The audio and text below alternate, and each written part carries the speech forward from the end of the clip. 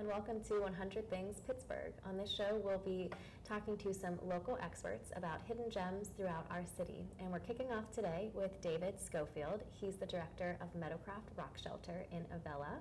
Uh, Meadowcroft is featured in my new book, 100 Things to Do in Pittsburgh Before You Die. It's a Pittsburgh bucket list. And Meadowcroft is one of my favorite hidden gems in Pittsburgh. So we'll tell you a little bit about it and why you should make the drive out there.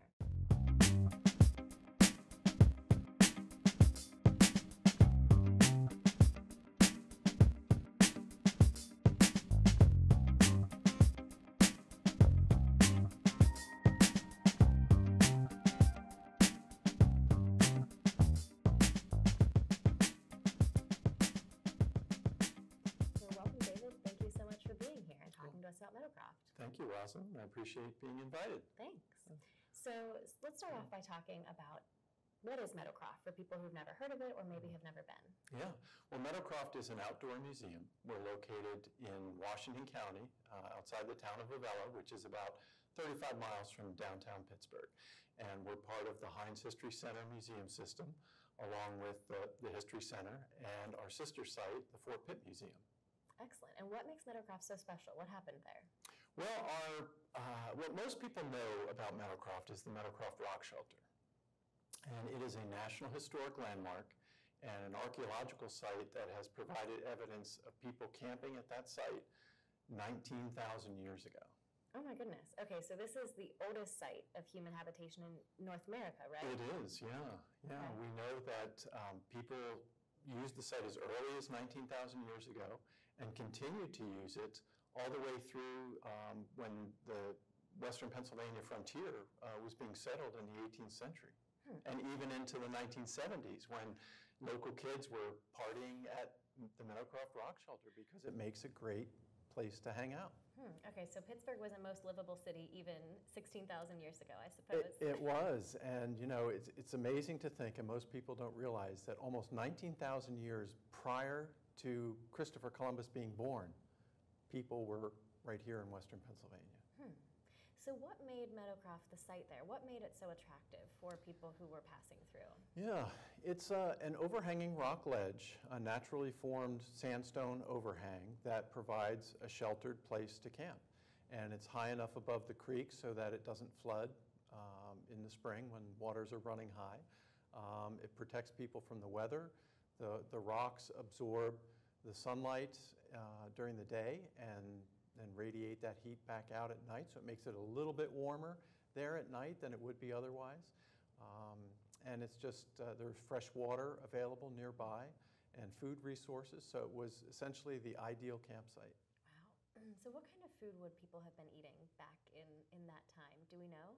Yeah, there's a lot of evidence of food uh, from the rock shelter. In fact, there's uh, 956,000 animal remains and 1.4 million plant remains that were excavated from Meadowcroft.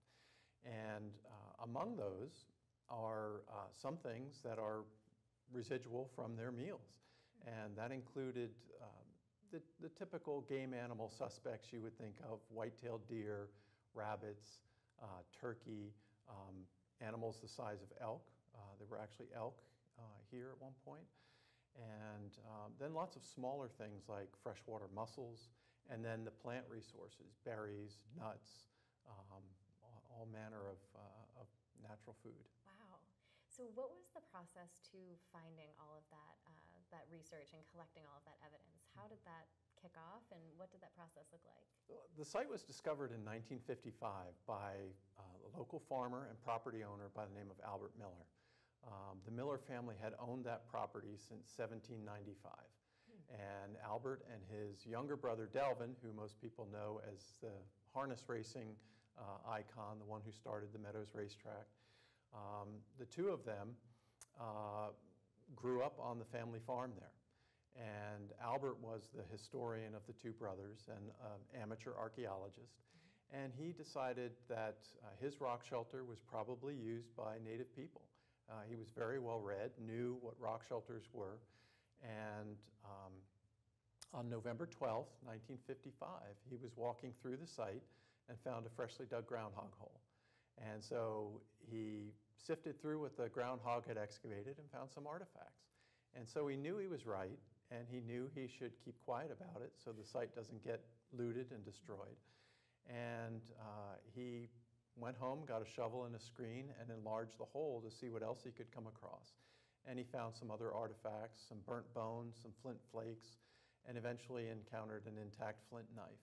So he knew he was right, and he was wise enough to know he should keep quiet about it. So he spent 18 years trying to find a professional archaeologist to excavate. And so in 1973, uh, a new faculty member at the University of Pittsburgh, Dr. James Adovasio, uh, was looking for a field school location, heard about the rock shelter, and asked for permission to dig there. So he did in the summer of 1973. And it wasn't too far into that first season that they realized this site is older uh, than we anticipated. Wow, that's amazing. So, mm. Why did it take so long to find a researcher? Was he looking for just the perfect fit of a person, or you know, what what took so long to find the right person? Well, for one reason or another, archaeologists either had other work they were doing, other sites they were involved in, or it didn't fit what they were looking for. Dr. Adovasio's expertise was in caves and rock shelters, mm -hmm. so that's the type of site he was looking for. I suppose when you think about the full history, you know, a few years is nothing in comparison to 16,000. Right. So finding right. the right person makes a lot of sense. Right, right. And I should make a distinction. Uh, we have for many years talked about 16,000 years at the Meadowcroft Rock Shelter. That's actually radiocarbon years, mm. which doesn't match exactly with calendar years. And so we've just started changing what we refer to the site as in, in terms of its age to 19,000 years. Because when you convert the 16,000 radiocarbon years to calendar years, you get 19,000. Wow, that's fascinating. Huh.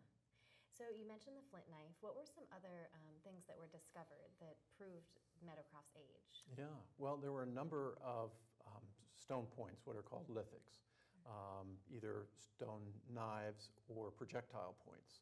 And the Miller Point, named after Albert Miller, uh, is one of the more significant objects because that dates to uh, about 14,000 years ago.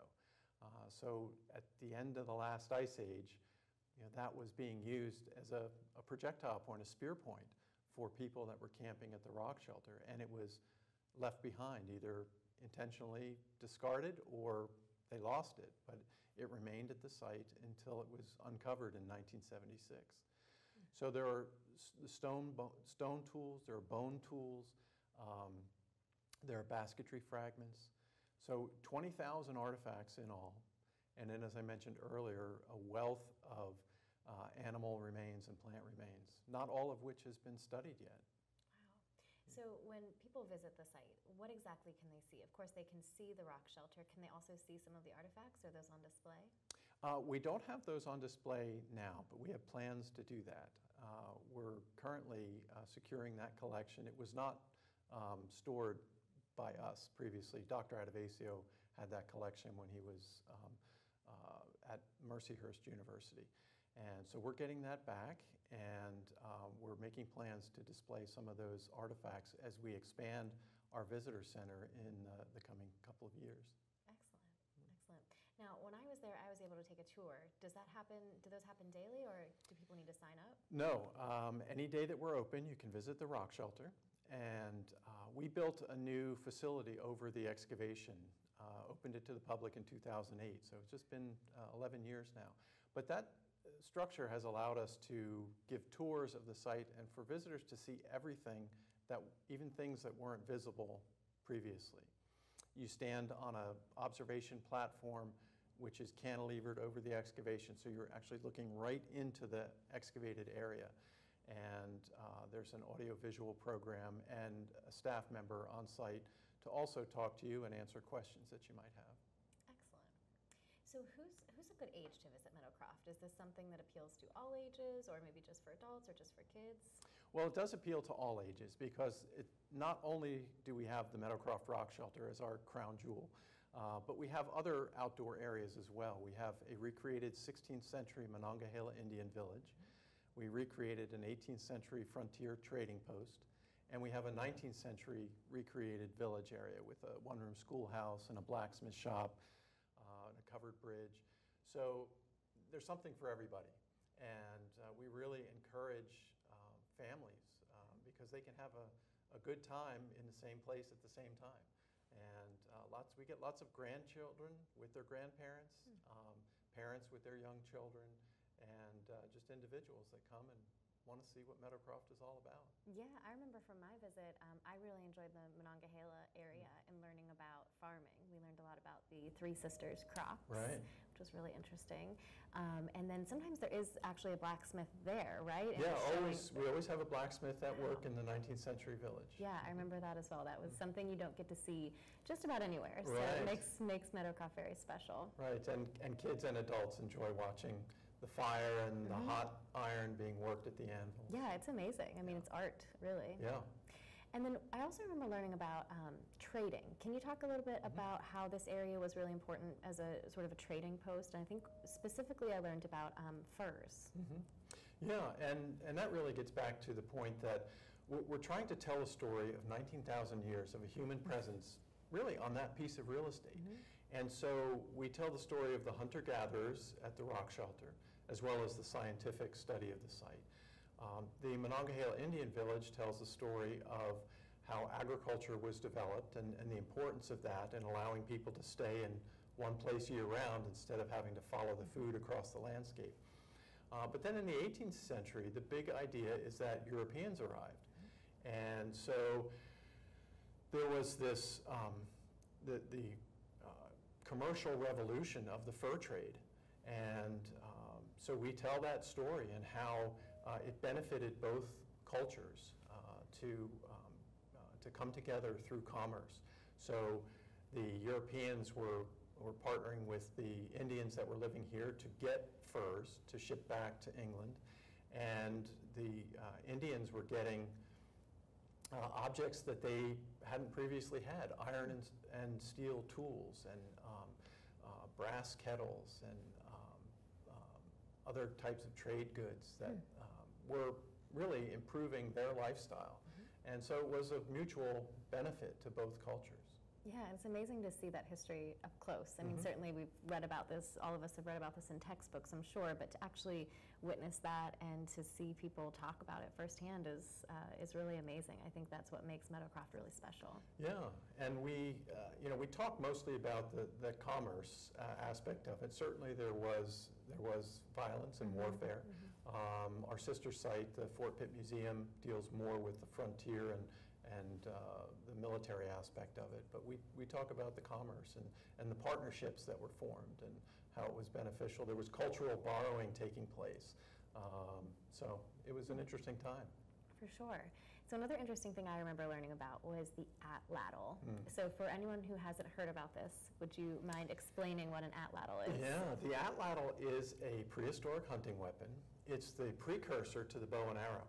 So uh, the atlatl was a weapon of choice for thousands and thousands of years prior to the invention of the bow and arrow, uh, which we don't find um, any, um, any evidence of bows and arrows in our part of the world until the last couple thousand years.